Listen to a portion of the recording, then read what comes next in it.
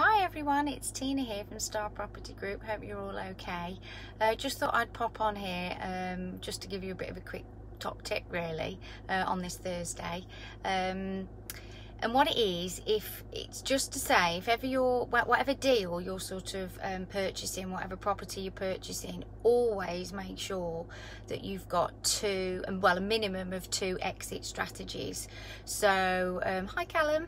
Um, so um, for instance if you were buying like a, a, a property to flip um, what happens if that property doesn't sell? Always make sure that you've got a backup option for instance that you know you could then rent it out. So always make sure that that potential flip would cash flow um, as well. Um, otherwise you can become unstuck with a property that you can't sell that can be very difficult. And again if you're purchasing a property with a view to uh, making it into a HMO that's great you know if all the rooms are renting out. But if it's not working as you want how easy is it to then put that property back to a buy to let and either rent it out as a buy to let or even possibly change it so that you could then sell the property? Um, but again that's just giving you multiple exit strategies.